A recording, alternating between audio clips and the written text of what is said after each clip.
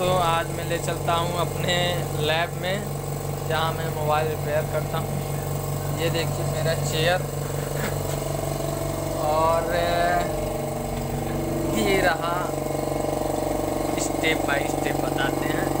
ये देखिए यहाँ पे ब्लोअर रखा हुआ है एस और यहाँ पे थोड़ी जगह थी जो पावर सप्लाई रखी गई थी डीसी और ये सेपरेटर मशीन रखा हुआ ऊपर देख लीजिए फोल्डर बनाने की मशीन और ये बबल रिमूवर देखिए, और इस साइड में इलेक्ट्रिक बोर्ड लगा है और इसके बाद ये हमारा कंप्यूटर सिस्टम